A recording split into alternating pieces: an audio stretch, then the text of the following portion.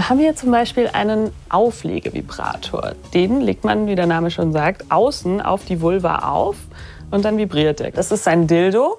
Der hat auch noch so Kugeln innen drin. Das heißt, der shakt dann auch noch ein bisschen mit. Dann haben wir hier einen Buttplug. Den kann man sich oder anderen Menschen anal einführen. Das fühlt sich für viele Menschen gut an. Für die Männer oder andere Menschen mit Penis gibt es hier so ein Gerät, das ist ein Masturbator. Das heißt, hier in diese kleine Öffnung führt man den Penis ein. Das saugt und vibriert gleichzeitig. Dann haben wir hier so ein Druckluftwellen-Vibrationsgerät. Der hat hier so eine kleine Öffnung. Das kann man außen auf die Klitoris drauflegen. Fühlt sich dann ein bisschen an wie so ein recht fordernder Oralverkehr. Der hier hat zusätzlich eben noch hier diese diesen Arm für den G-Punkt. Das heißt, man führt den so ein, hat dann hier die Stimulation am G-Punkt. Also ich glaube, das ist eine ziemliche Orgasmusgarantie.